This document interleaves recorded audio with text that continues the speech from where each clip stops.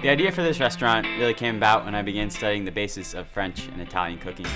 And in those cultures, not only does every region have its own cuisine, but every little town and village has its own unique style of cooking based on the history, the traditions, the people, the local geography and climate. Everything that makes a certain place special is really celebrated and brought to life with the food.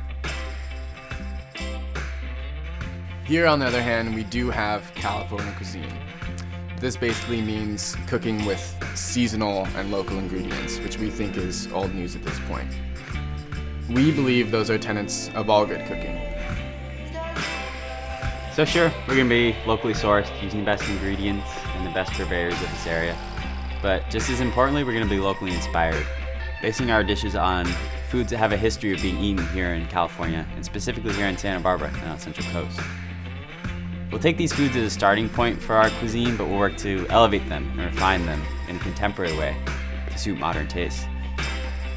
We think that by serving these traditional foods in new ways, we'll be able to connect with our guests emotionally and provoke a certain sense of nostalgia for them, especially for people who've lived here their whole lives and have eaten these foods every day, but never in this particular way. We want to embody and celebrate this area with everything we do.